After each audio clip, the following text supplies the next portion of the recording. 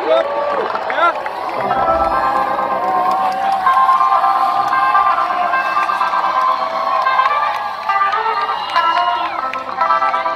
so it's been brought to my attention that there is an outrageous after party going on right after this show. It's at a place called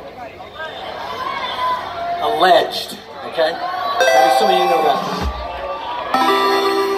But also, we were just told that there's a man that some of you here have known for a long time, and a man that some of you know uh, was was not well, and that he had passed away just a few minutes ago. His name was Isaac.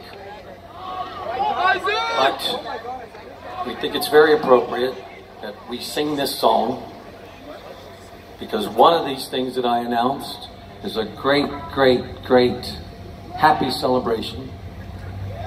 The other thing that I announced is a sad, powerful goodbye. But that's really what life is, people. You know, it really is.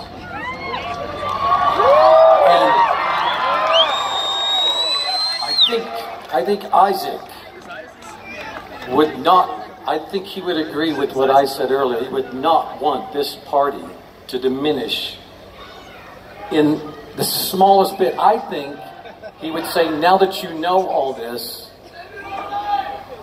fucking sing even louder, scream even louder, be even. The